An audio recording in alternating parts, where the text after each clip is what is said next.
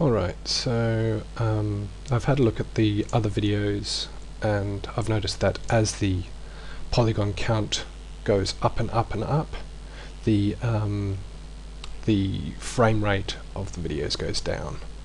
So uh, hopefully you are still with us and uh, haven't given up. Um, but in effort to try and um, help that, I'm going to use the reduce brush and try and get rid of some polygons in areas where we don't need quite as many. So, under here, top of the head.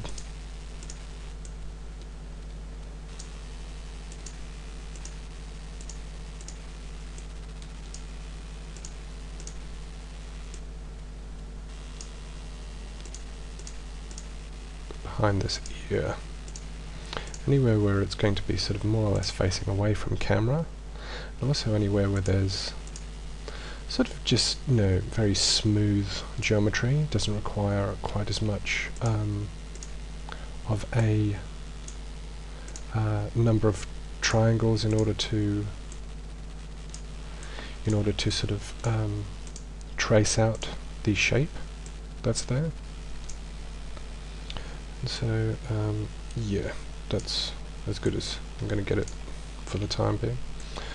Uh, and I'm just going to try that um, hiding again.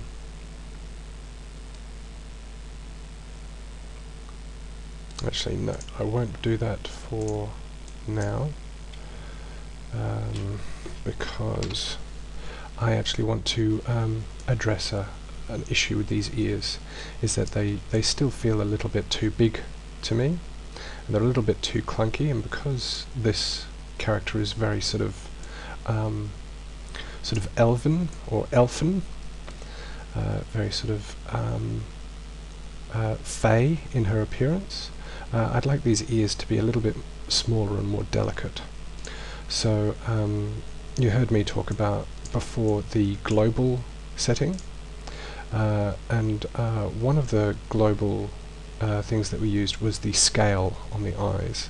Well, if we don't have the global button checked, this is kind of how it functions. So I've got the XYZ checked so that um, uh, so that it's actually I can't remember whether that makes it uniformly scale or whether that means that it scales based on your movement. But at any rate, we'll find out. So I'm just going to uh, come in here, shrink that down a little bit. I might shrink this ear down like that. So we can see that this is a lot more, a lot more delicate, a lot sort of a little bit pointier, a bit, um, bit more of a sort of a nice looking ear for our elven type character. So yeah, I'm I'm more happy with that. Notice that the back of the skull here is sticking out quite a bit as well, so I'm just going to come in here and move that back just so that we don't have as much of a ridge there. So just making sure that we clean that up. Make sure we haven't messed up the ear too much, doesn't look like it. And uh, just going to make sure that we don't make the back of the head too pointy. So yeah, I'm, uh, I'm quite happy with that.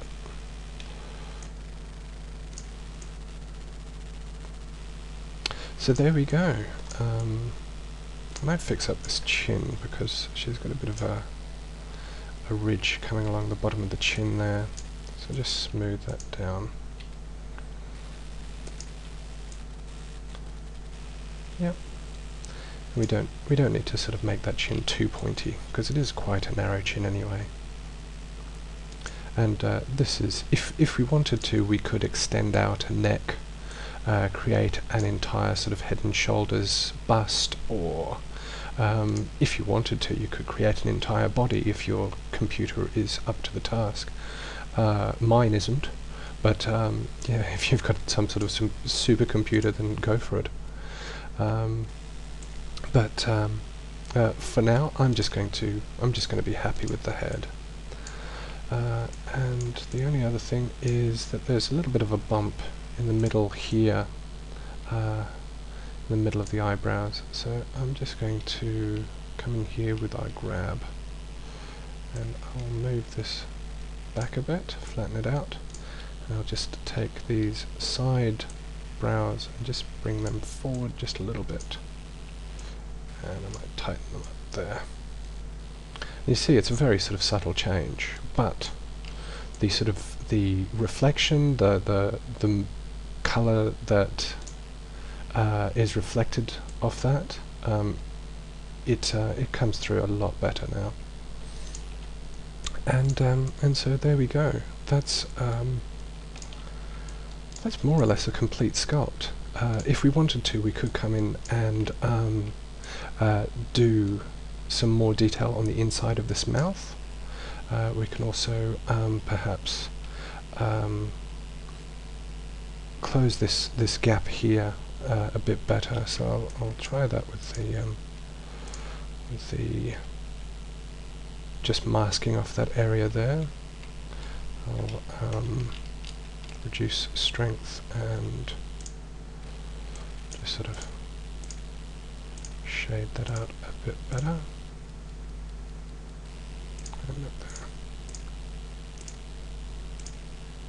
Okay. And just making sure that the strength is nice and low. I might actually reduce the the um, mask there and increase it there. And um, we do that so that we can grab the bottom corner of this mouth and uh, not be grabbing the top lip while we're doing that. So now we can sort of close that that corner a little bit better like that.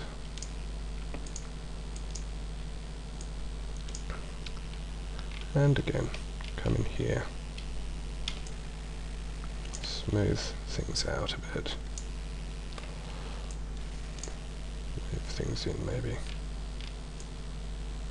And I'm also looking at the way that light is sort of reflected off the, uh, the surfaces that I have created.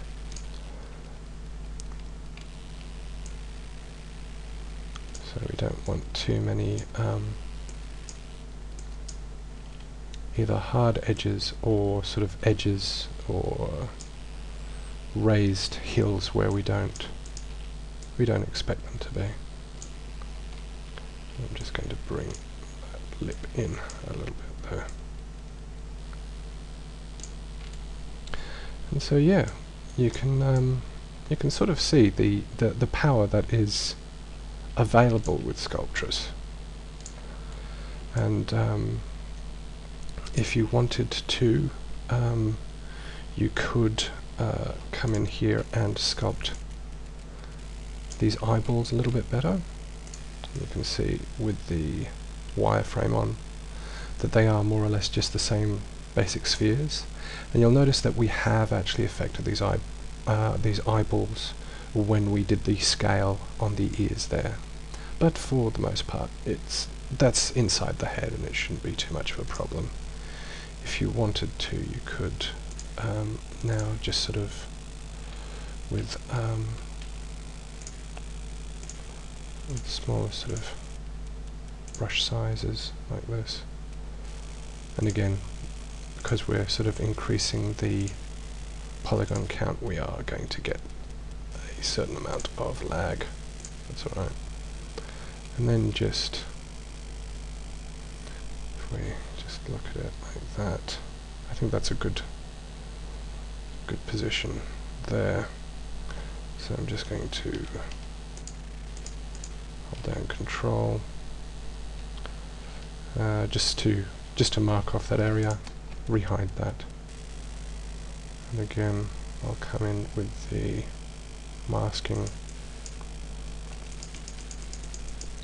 and just click it enough times that we are getting that sort of eye look there.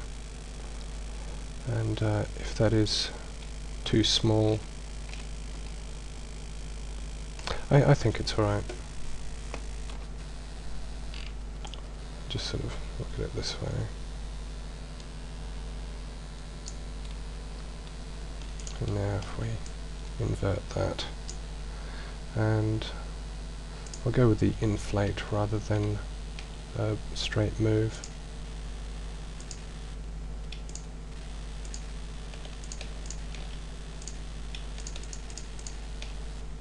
and just sort of create a bit of a, a lens there, a bit of a pupil sticking out.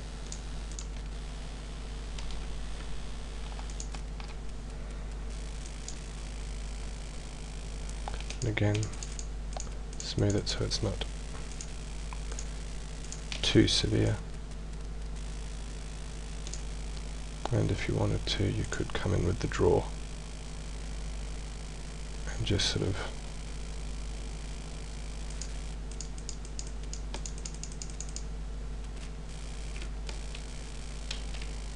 just create more of a pupil here.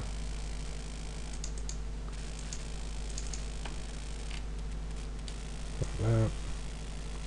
That's probably far too bug-eyed. Um, so again. Just make it sort of subtle.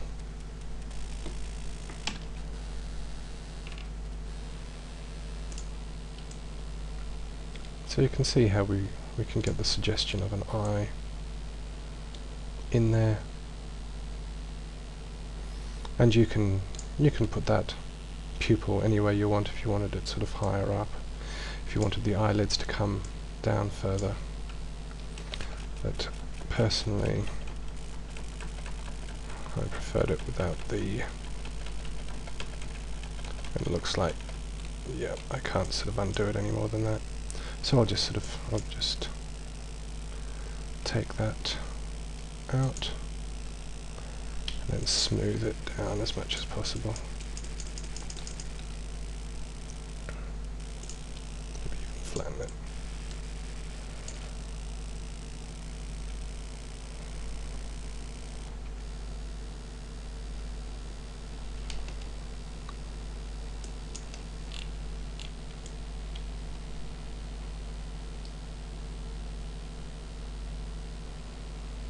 So yeah, eyes sort of follow you around the room, don't they?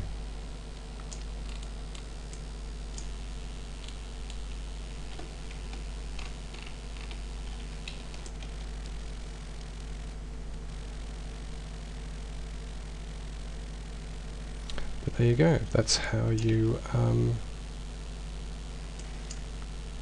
oh, that's, that's pretty cool. Yeah, I think I like that better. Whoa, dude.